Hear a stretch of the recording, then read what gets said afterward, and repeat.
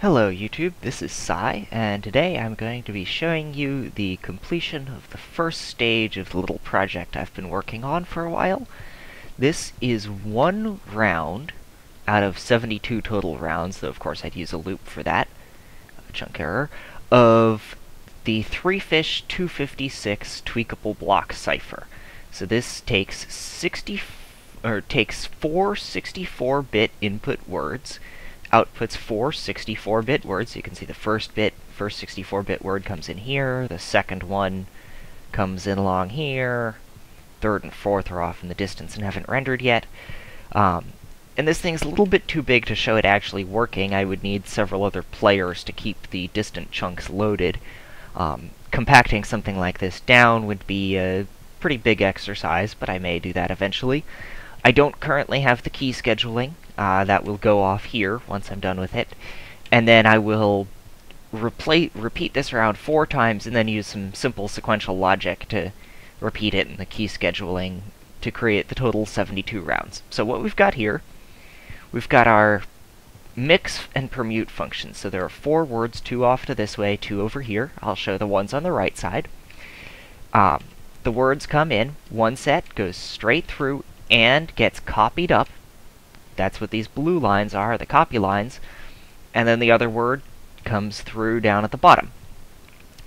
And those copied words, they two words from each side get added modulo 2 to the 64th. So this is an adder that does modular addition 60, on two 64-bit words. Comes out here. And then the other, the first word, gets shifted a certain value in a circular shift, not just a standard bit shift where you discard out to the right or left, but an actual circular shift keeps all the values. In this case, by 16, the other shifter is set to shift by 14 bits. Um, and that's all defined in the specification. And then all of those values, we then take those same words, and they go through and we do another copy, and we XOR the values that were added with the values that were shifted, and then also the values that were added go straight through.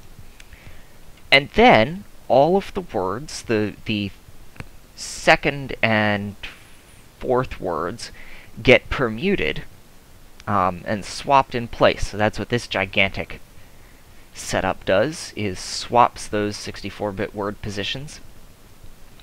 And then I'm just going to put a little um, small step down to get this all of these outputs for the four 64-bit words down to the same height, chain out three more of these things, add in the key scheduling, put in the sequential logic to repeat it so it goes through 72 rounds, and I'll have an implementation, um, a very, very, very slow implementation of a tweakable block cipher for strong cryptography in Minecraft, because that's about as useless a thing as you can possibly do in Redstone, but it's fun and involves a good amount of logic.